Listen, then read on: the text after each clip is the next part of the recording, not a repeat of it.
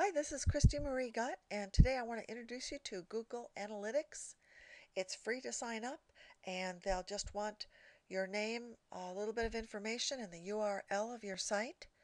And you'll want to have this available so you can see how many people are visiting your site, how many visits there are, how many pages they click on, the average time a visitor spends on your site uh, the locations as far as countries and cities that visitors come from.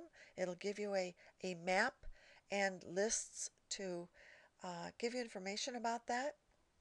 And so you'll need to sign up for Google Analytics and read the help information as well.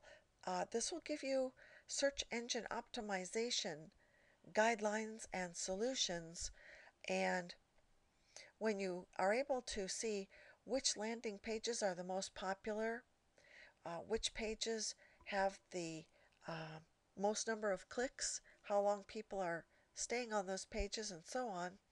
It's an enormous guideline to help you to improve your website and to help you to rank high in the search engine rankings. Thanks for joining me today. Good luck with your website and have a great day.